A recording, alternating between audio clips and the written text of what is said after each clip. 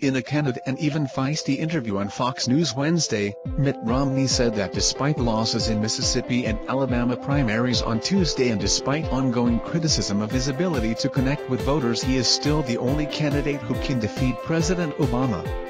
Asked by Fox's Megyn Kelly about his critics' comments that he is still struggling to connect with the conservative core of the Republican Party, Romney went on the defensive, listing the states he has won. Well I'm sorry they have to go back at some other states that actually are kind of important, let's say Florida for instance where I won in Michigan and Ohio and Nevada and New Hampshire, the list goes on, said Romney, who appeared in the Fox News studio in between a series of high-dollar fundraisers he traveled to New York to attend.